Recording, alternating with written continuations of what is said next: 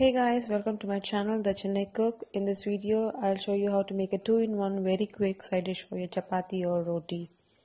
For this, I'm taking 1 tablespoon each of fennel seeds and chili powder, half a tablespoon of pepper powder and salt, 1 cup of onions and few curry leaves, 1 cup of tomatoes and 1 raw egg.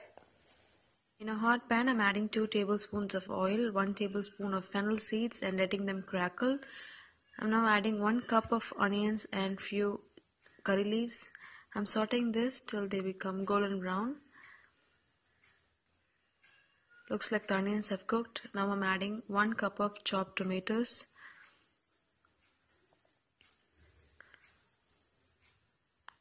Now I put in 1 tablespoon of chili powder, half a tablespoon of pepper powder and salt and a bit of water to cook the onions and tomatoes. Looks like the masala is getting together.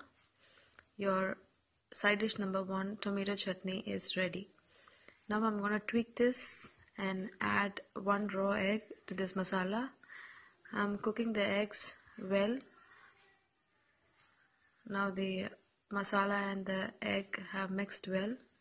This is your side dish number 2 egg burji.